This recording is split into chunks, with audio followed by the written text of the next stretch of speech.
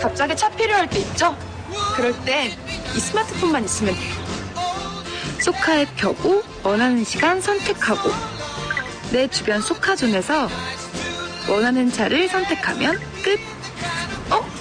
바로 여기 있네요. 소카 키로 열고 타면 돼요.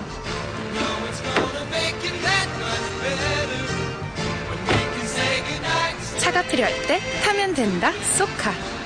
지금 다운받으세요.